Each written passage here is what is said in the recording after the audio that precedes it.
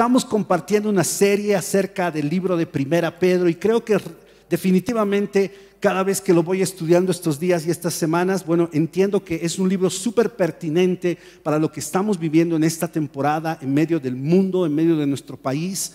Yo creo que estas circunstancias no son las mismas, los tiempos no son los mismos, pero las circunstancias son las mismas. La palabra de Dios sigue siendo vigente, aunque tiene mucho tiempo de haber sido escrita, pero inspirada por un Dios todopoderoso. Así que la anterior semana vimos el pasaje de 1 Pedro capítulo 1, versículos 13 y 14, simplemente para hacer recuerdo, y este pasaje dice, por eso por esta razón, dice el apóstol Pedro, dispónganse, dice, que dispongas tu vida, que la prepares, que seas diligente para actuar con inteligencia. Miren, la, la, gente del reino, aquellos que conocemos a Jesucristo, deberíamos ser los más inteligentes, los más inteligentes. Recuerde que Daniel, de hecho, después de, un tiempo de prueba y el comienzo de su servicio en el, en el en el reino de, Babilonia, dice que fue encontrado diez veces más inteligente, más capaz que los otros. Y saben, deberíamos ser gente inteligente. Y no porque tenemos logros, y, no estoy en contra de eso. Mire, si podemos estudiar una profesión, una maestría, un doctorado,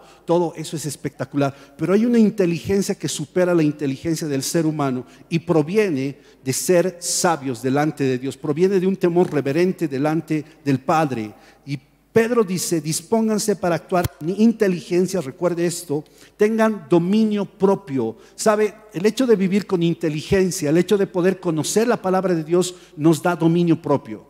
¿No? Por eso es que más adelante dice, no vivan como antes lo hacían, ¿no? Con esos deseos, como vivían aún antes en la ignorancia, dice, ¿no? Luego dice, pongan su esperanza completamente en la gracia que les será dada cuando se revele Jesucristo. Esperanza, Jesucristo, recuerda la anterior semana, hoy voy a hablar un poco más acerca de la esperanza. No, esta esperanza que es algo real. Miren, es una expectativa, es algo real y es algo cierto.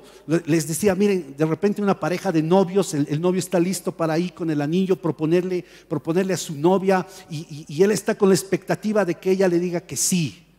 Probablemente le va a decir de sí, que sí, pero hay una probabilidad que le diga, no, es algo incierto, o, mañana si tengo un examen y, estudio todo el día, toda la noche, probablemente tenga una buena calificación, pero probablemente es que me aplace también, ¿no? Pero estas son probabilidades.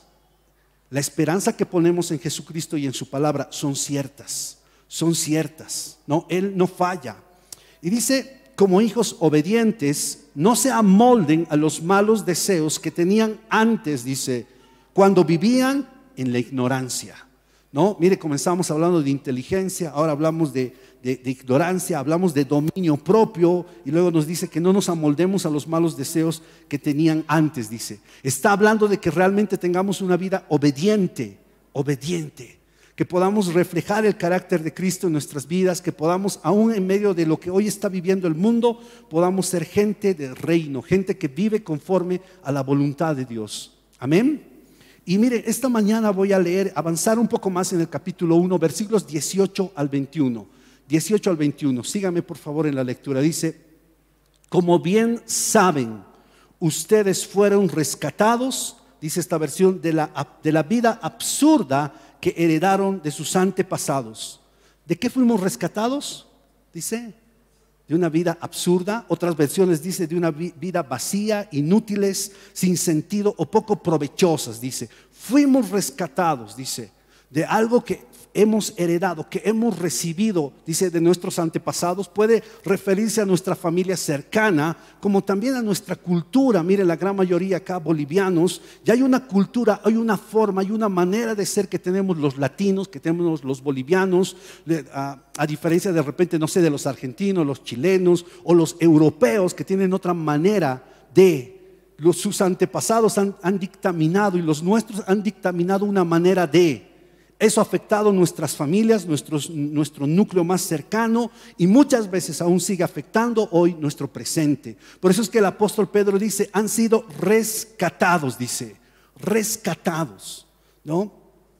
Eh, y luego en el versículo 19 dice, perdón, 18, eh, eh, dice, el precio de su rescate no se pagó con cosas perecederas como el oro o la plata, Ya, de repente, si, si, en ese entonces, como ahora, a veces ofrecen rescates y de repente hasta te, te, toman como preso, te toman cautivo y de repente tú tienes que dar cierta cantidad de dinero o tienes que hacer algo. En ese entonces, de repente estaba el oro, la plata, ya cosas muy preciadas, cosas de mucho precio, de alto valor. En ese entonces dice que nuestro rescate hoy no ha tenido que ver con algo material, no ha tenido que ver, no sé, con, con, con, con miles de dólares, no ha tenido que ver con, que hagas algo o te desprendas de algo, tiene que ver, dice, con la preciosa sangre de Cristo, dice, como un cordero sin mancha y sin defecto. Versículo 20, Cristo, a quien Dios escogió, dice, antes de la creación del mundo, se ha manifestado, dice, en estos últimos tiempos en beneficio de ustedes.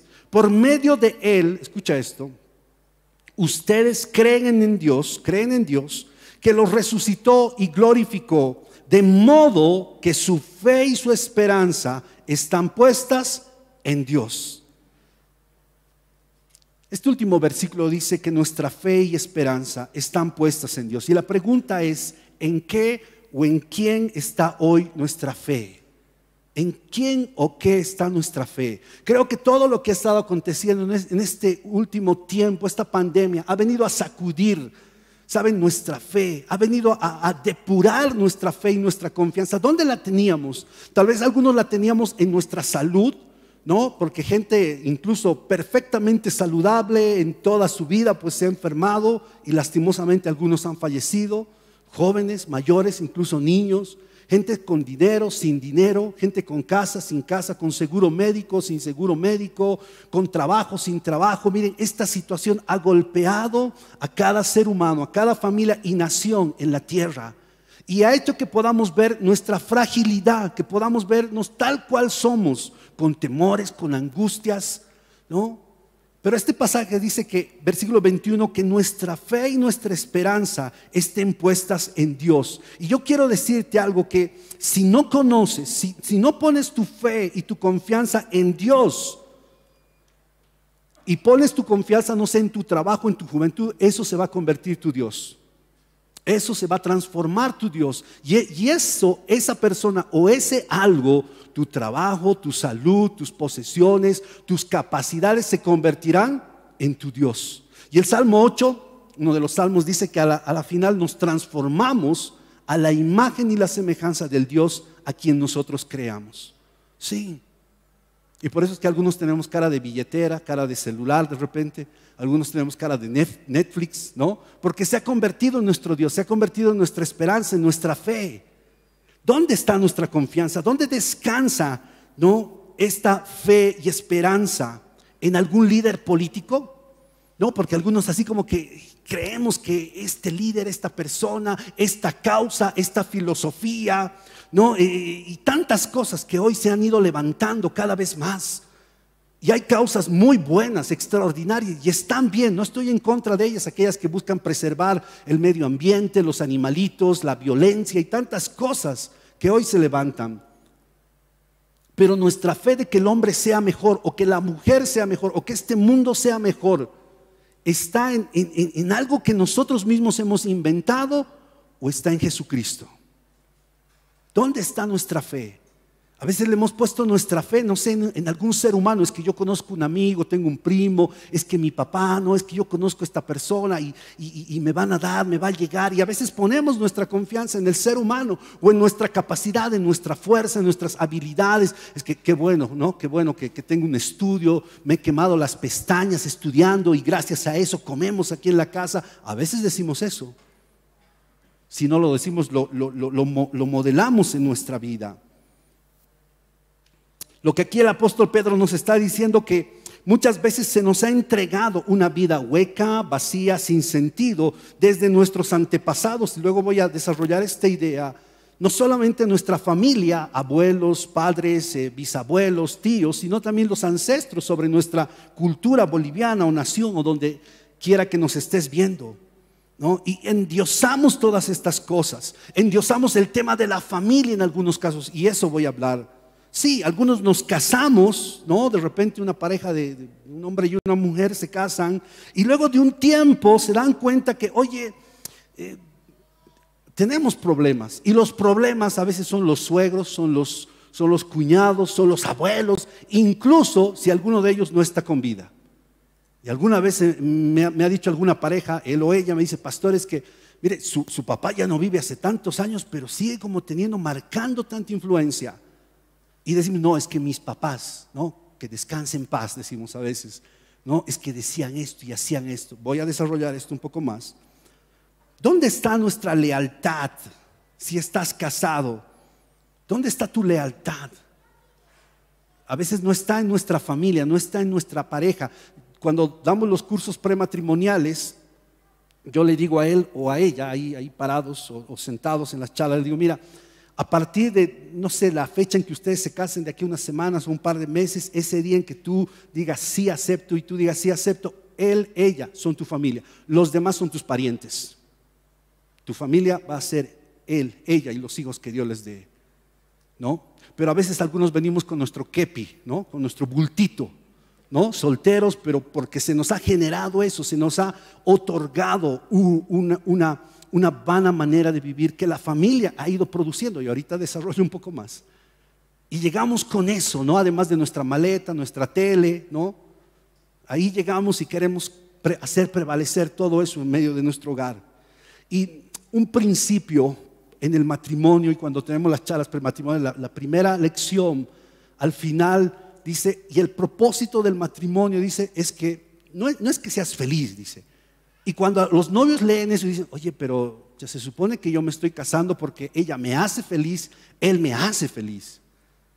Y la lección dice, bueno, el propósito del matrimonio desde la perspectiva bíblica, desde la perspectiva de Dios, es que ustedes manifiesten la gloria de Dios aquí en la tierra, que tú como varón seas, seas un ejemplo de Cristo y ella sea el cuerpo.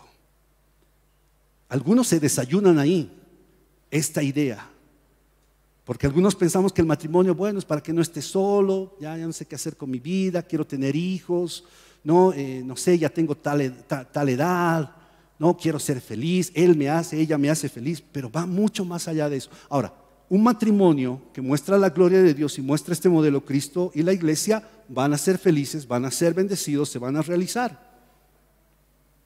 ¿Cuáles son algunas de las vanas maneras de vivir que hemos, que hemos recibido que hemos heredado de nuestros antepasados. Pueden ser padres, abuelos, los parientes, ¿no? la gente o, nuestra cultura también. ¿Saben? La primera son las tradiciones. Muchas de ellas se han generado en algún momento en el pasado como algo bueno.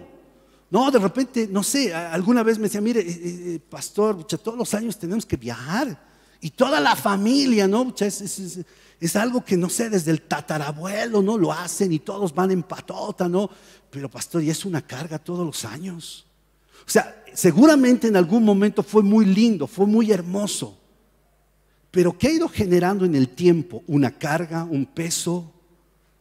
A veces mi consejo, y de repente a algún papá no le va a gustar a los novios, es, mira, no, no contraigas esos compromisos todos los fines de semana, sábado con mis papás, domingo con los tuyos.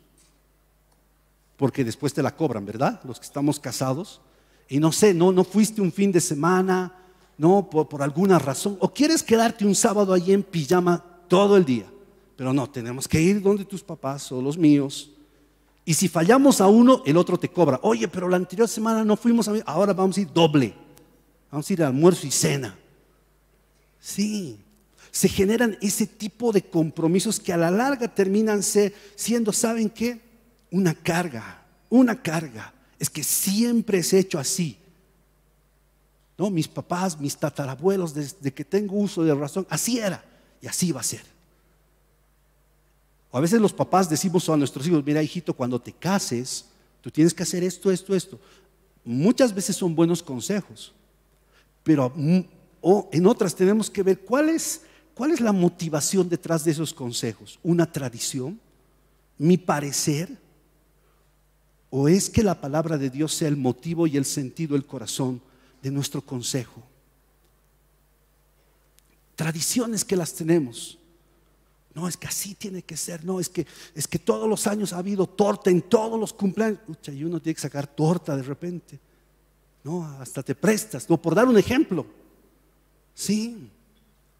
No, no, es que mi casa, mis papás siempre han sido así y, aquí tiene que ser así. Y, ponemos ese tipo de cargas, tradiciones que en su momento, vuelvo a repetir, por ahí fueron buenas. Pero después de 500 años de tradición, ¿tenemos que seguir haciendo lo mismo? Otra cosa es el orgullo familiar. El orgullo, eh, eso que, y miren, recuerden que, por orgullo Satanás, por soberbia, fue, fue, fue, sacado de la presencia de Dios. La palabra dice que, que no seas soberbio, que no seas orgulloso, pues Dios te resiste. Y a veces tenemos estos, no, no, es que en esta familia todos hemos ido a la universidad y todos tienen que ir a la universidad, porque aquí todos hemos sacado una, una licenciatura. No, es que todos hemos tenido casa y tiene que haber una casa. Y, sí es bueno, no digo que esté mal, que uno tenga una carrera, un estudio, no, no sé, es que aquí en la casa todos hemos sido médicos, todos tienen que ser médicos. No, no, es que todos hemos sido de este equipo y todos aquí somos de este equipo y punto. ¿Ya? O sea, aquí en Kairos todos somos del Tigre, por si acaso. No está el Mauri, no está el Mauri. No, no, es, es una broma, es una broma. ¿Ya?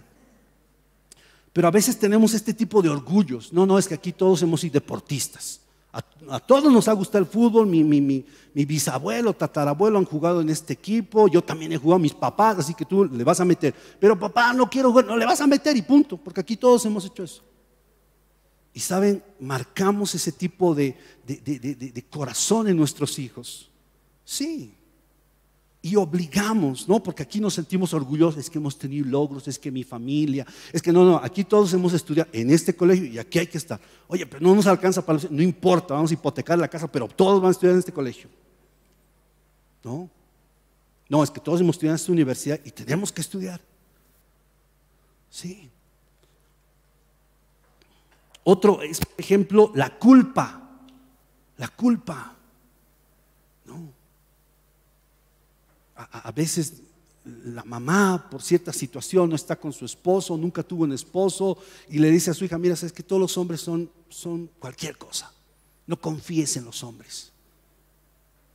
Y claro, ahí la niña va creciendo en, ese tema. No, esto que estoy haciendo por ti, un día me lo tienes que pagar. Yo te estoy cuidando y un día cuando yo sea viejito me vas a cuidar. Yo le decía algún rato a la Zoe, ¿no? Hija, un, un día cuando tú seas más grande me vas a hacer unos sándwiches, me vas a hacer esto y aquello, ¿no? Y la, y la Jennifer dice, oye, no le eches esa, esa carga a la hija. Los hijos debemos cuidar de nuestros padres, pero no por obligación, por culpa, sino porque la Biblia dice, honra a tu padre y a tu madre. Esa debe ser la motivación. ¿No? O a veces a manera de chistes, y cuando, alguien me hablaba de matrimonio de mi hija, digamos, ¿no? Y esta chica todavía, ¿no? Dice, no, no, jamás ella no se va a casar, ella se va a casar conmigo, conmigo te vas a casar, ¿verdad? ¿Saben? Chistoso, pero estamos creando muchas veces en el subconsciente de nuestros hijos una carga, una tradición, una culpa, un orgullo.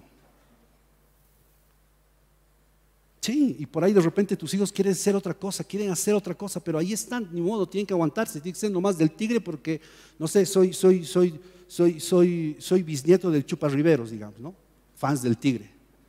No, porque no, es que en mi casa todos éramos, mis papás eran dirigentes del Bolívar y aquí somos del Bolívar y punto. Ese tipo de cosas no hacen bien, son este tipo de tradición. Es que los bolivianos somos así.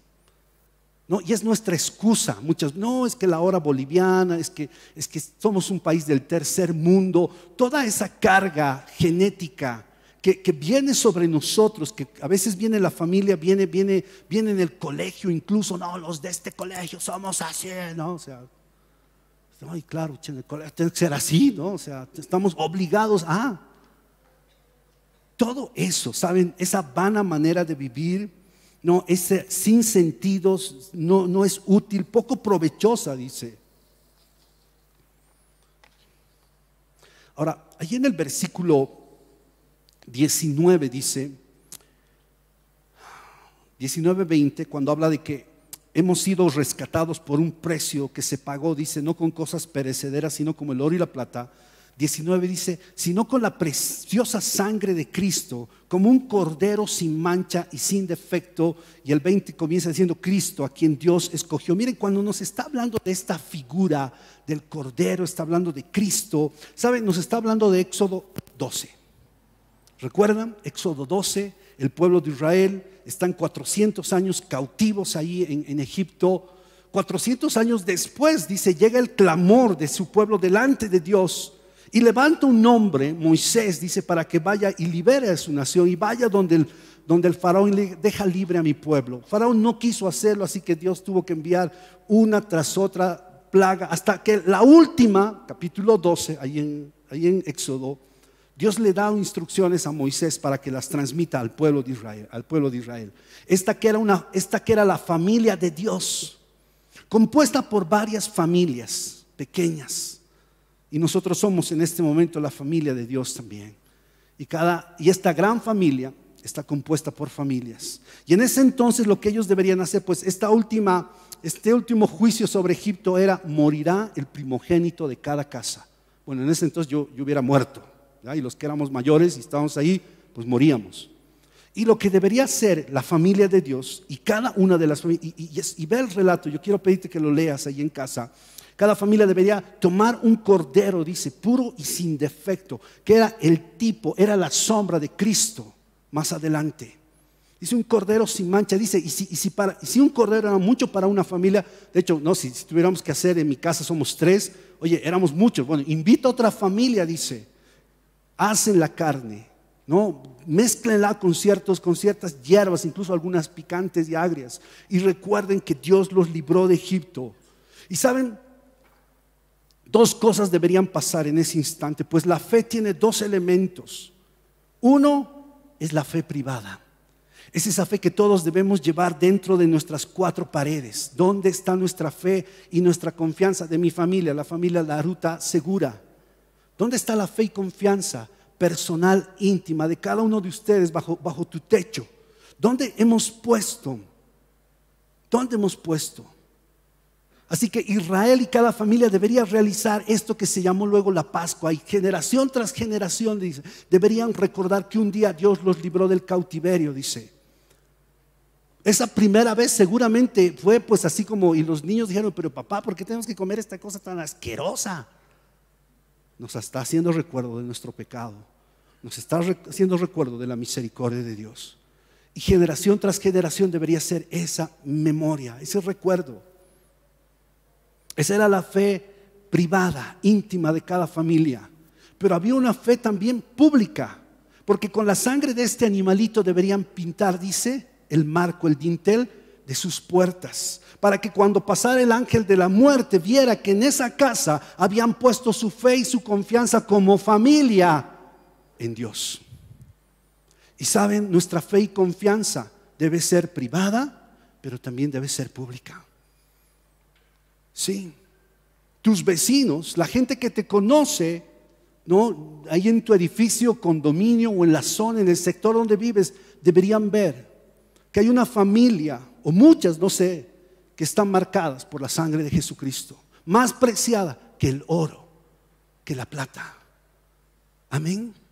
Debería ser así nuestra vida. Deberíamos entender, miren, muchas veces decimos, bueno, yo acepto a Jesús en mi corazón, sí, lloramos y, y ahí está, ¿no? Que tu, que tu corazón dice y, y, en tu boca dice, declares que es el Señor, pero está bien, muy bien, pero acéptalo también en tu trabajo, acéptalo también en la universidad, acéptalo en todas tus relaciones que tienes de amistad con tus vecinos, con tus compañeros, acéptalo también en todo lo que ves y haces en las redes sociales, así como lo aceptas de forma personal, íntima, acéptalo de forma pública. Recuerda lo que Jesús dice, que si lo negamos a Él delante de los otros, Él nos negará delante del Padre.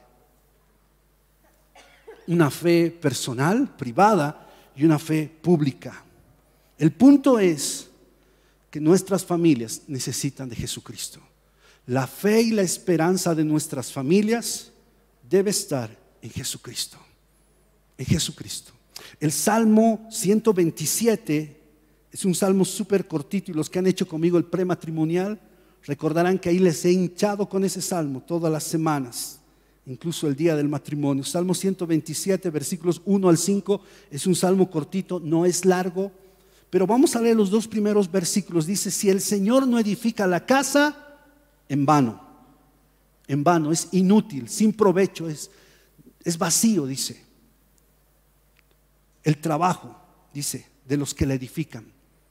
Versículo, ahí mismo dice, si el Señor no guarda la ciudad, es en vano que vele la guardia. Versículo 2, es en vano que os levantéis de madrugada, que os acostéis tarde, que comáis el pan de afanosa labor, pues Él, Dios, da a su amado aún mientras duerme.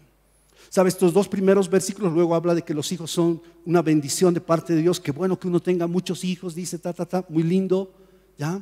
Pero los dos primeros versículos están hablando de que, oye, o puedes hacer una tarea de fe, de confianza con tu familia en el Señor, ¿no? Útil, fructífera, o puedes hacer una tarea vana, sin fruto, sin provecho. ¿Cuál hacemos? ¿Qué tipo de familia consolidamos? Los que tienen un hogar, y, sea que seas esposo, papá, mamá o hijos. Dice, si el Señor no edifica, dice, nuestra casa, nuestro hogar, dice, es en mano lo que podamos hacer. Si Él no es el centro de esta fe privada, de esta fe de familia y también es el centro de esta fe pública, es en vano lo que podamos hacer. Es inútil, sin provecho. Y yo algunas veces pienso, a, mi esposa y a mí nos encantan las películas, las series, de cuando en cuando si encontramos una buena película la vemos o la compramos o, la vemos ahí en los canales que hay, o una serie a veces hay alguna, alguna que otra muy buena serie, ¿ya?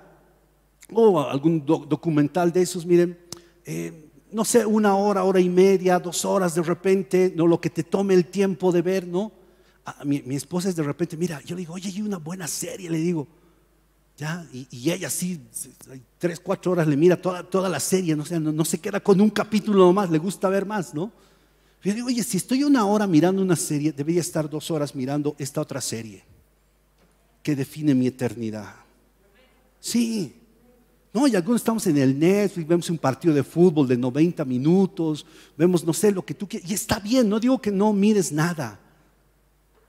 Pero debería yo buscar que la fe privada, familiar y personal de casa sea esta.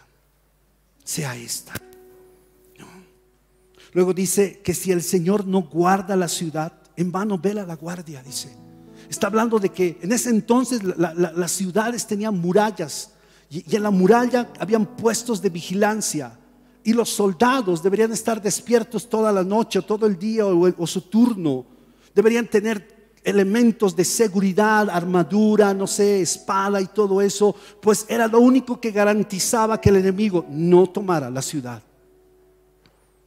A veces nuestra seguridad está en, no, no, sabes qué hijo, tienes que estudiar y estudiar una profesión y que dé plata. Cuidado con que me quiera ser músico, artista, pintor, esas cositas, no. Porque aquí lo importante es la plata, hijo. ¿Es eso? ¿O realmente es importante que nuestros hijos conozcan al Señor? Yo pienso que un día, no sé si llegue ese día, ¿no?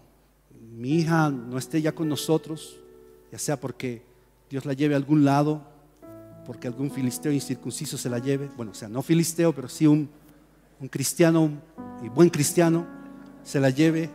Me resisto a esa idea no sé por qué lo estoy diciendo. ¿ya? No graben esa parte. Yo siempre digo, ella va a ser o una, o, sea, o la primera monja cristiana o de las primeras monjas cristianas.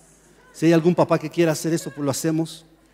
¿no? Fundamos el primer, el primer claustro cristiano, Kairos.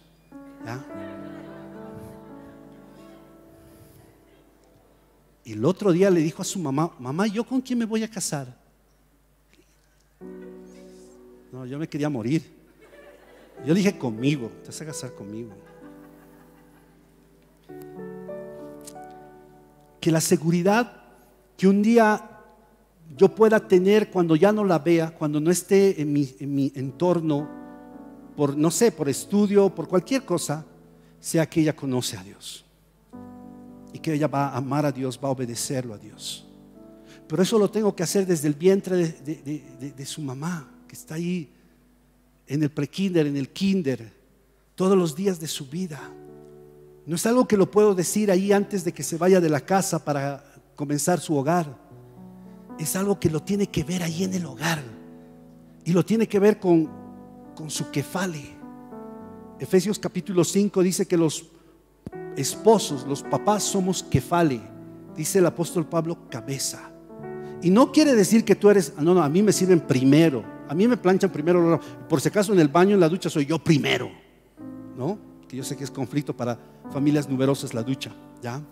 No, es, oye, yo voy a ser fuente de, yo soy fuente de gracia, de amor, de presencia. Yo voy a ser. A veces los esposos nos, nos escudan, no, no, es que yo aquí trabajo, pues ¿qué más quieren? Estoy toda la semana trabajando.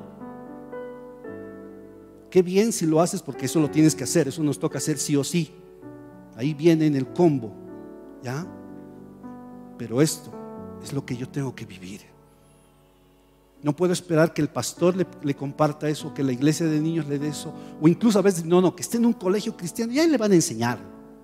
O sea, qué bueno por todo eso, está muy bien. Pero yo papá, yo mamá, debo modelar a Cristo como papá la mamá va a modelar a la iglesia. Se sujeta, cuida, ama, se deja cuidar, obedece. El papá va a ser guía, cuidado, protección, seguridad. Yo siempre que miro a mi esposa digo como Cristo, como Cristo, como Cristo. Cuando miro a mi hija y está ahí en sus berrinches como Dios, como Dios, Señor, por favor, dame paciencia, Señor. Porque esa es nuestra tarea. Nuestras familias necesitan a Jesús. El centro unificador de nuestras familias debe ser Jesucristo, no una tradición, no la culpa, ni tampoco el orgullo. He conocido de familias donde de repente, no sé, partió el papá, la mamá, algún abuelito, así como que, uh, sí, la devastación, el caos, no, se acabó el mundo, ya la familia se destruyó, y esto y lo otro, y ahora qué vamos a hacer. Yo sé que en el dolor muchas veces decimos muchas cosas, pero alguna vez, pastor, no, se murió mi papá o el abuelito, y ahora no, ahora el mundo se nos cae a pedazos. Si el Señor no edifica la casa, claro, tu papá, tu abuelito, el trabajo, eh, tu vagoneta, tu casa, incluso tu cachorro, pues si ellos lo edifican, pues será en vano lo que edifiquemos. El mundo necesita hoy más que nunca familias que tengan su fe y su confianza en Jesucristo su fe y su esperanza en Jesucristo. Eso es lo que el mundo está esperando hoy ver. Ahora que el mundo está tratando y tanta gente y movimientos están tratando de destruir a la familia. Necesitan de familias que tengan su fe y su confianza en Jesucristo. Y mire, el apóstol Pedro, ahí en el capítulo 1 de, de 1 Pedro, versículo 7, dice que esta fe en Jesús es más preciosa que el oro. Y con esto quiero acabar. Más adelante, en el capítulo 3 o 5, se, me fue un poquito el dato, vamos a hablar de la familia, del esposo y la esposa. Prepárese. ¿ya? La pregunta es, ¿dónde estás invirtiendo tu fe? ¿Estás invirtiendo tu fe en, tu relación con Dios o en las cosas materiales? Mi fe es más preciosa que el oro. Si, si hubiera una manera hoy de pesar tu fe, de traer tu fe y ponerla en una balanza, ¿no? O de ponerle, no sé, el oxímetro, ¿no? Que ha sido un elemento que creo que todos en casa tenemos, ¿no? Si pudiéramos poner el oxímetro a tu fe, por ahí algunos necesitan terapia intensiva en su fe. ¿Qué le está dando oxígeno a tu fe, a tu confianza, a tu esperanza en el Señor? Y yo sé que todos hemos pasado y probablemente pasemos momentos difíciles, sí, muy, muy, muy seguro. Por ahí las cosas malas no se acaben y veamos muchas cosas peores. Probablemente algunos perdamos trabajo, perdamos todavía seres queridos, no sé, o perdamos cosas muy, muy preciadas. Pero ¿dónde está nuestra fe y nuestra confianza? ¿Dónde está? A los que son solteros yo les digo algo no pierdas tu tiempo tratando de hacer realidad tus sueños. Ayer Marcelo nos habló de eso, tan lindo. busca hacer realidad los sueños del Padre. Que ahí no te vas a equivocar, ahí no la vas a pelar. Y cuando hagas realidad los sueños del Padre, te puedo asegurar que los sueños que tú tienes se harán realidad. Pero primero busca hacer realidad el sueño del Padre. Busca hacer realidad ese sueño. ¿Dónde estás invirtiendo tu fe? ¿Dónde? Por eso el versículo 21 del capítulo 1 dice, de modo que su fe y su esperanza están puestas en Dios. Iglesia, necesitamos poner nuestra fe en Jesucristo cada vez más. Busquemos eso. Así como le hacemos al deporte un pasatiempo, una parrillada, una comidita. Y está bien todo, es una serie, Netflix, está muy bien. No digo que no, una profesión, un estudio, está muy bien. Pero que saben, nuestra fe y nuestra confianza, hoy más que nunca, está en Jesús. El autor y consumador dice de nuestra fe. Donde tú vayas, donde tú estés, que los dinteles de tu vida ya manifiesten que ha sido sabes, ha sido bañado por algo más valioso que el oro y la plata. Ha sido bañado por la sangre de Jesucristo. Amén. Póngase de pie, vamos a dar esta mañana. Vamos a dar gracias a aquel que fue el Cordero perfecto, aquel que tomó nuestro lugar en la cruz, aquel que fue capaz de padecer, de sufrir por nosotros, aquel que tomó tu lugar y mi lugar allí en la cruz aquel que le está dando sentido a nuestra vida, aquel que es nombre sobre todo nombre, dice Jesucristo el Señor. Y hemos sido llamados cada uno de nosotros a ser portadores, que los dinteles de nuestra vida manifiesten a Jesucristo. Ya sea que tú ames un equipo, ames un deporte, ames tu profesión, no sé, pero que los dinteles de tu vida puedan reconocer a Jesucristo como Señor. Amén. Amén. Y mire, yo quiero hablarles a los esposos. Entiendo, no es fácil. No es fácil muchas veces saber que nuestra responsabilidad es grande. No, yo a veces cuando miro al novio y le digo, mira, tú tienes que ser como Cristo y esto y lo otro, o sea, dentro de mí le digo, ay, chango.